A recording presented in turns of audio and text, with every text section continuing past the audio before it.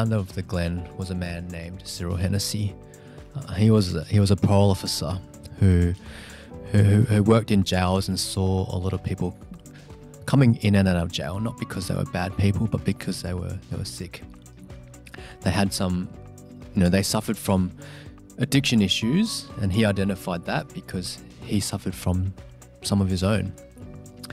And unfortunately, his second son passed away from a from from a drug overdose, and his name was was Glen Hennessy, and that's where that's how the Glen started.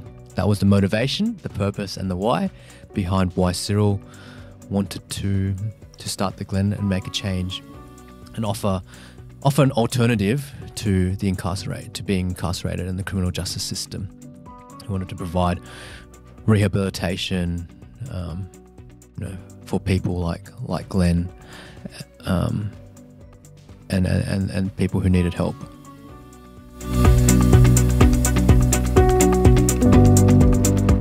If this culture clip helped you, hit that like button below and we'll see you in the next clip.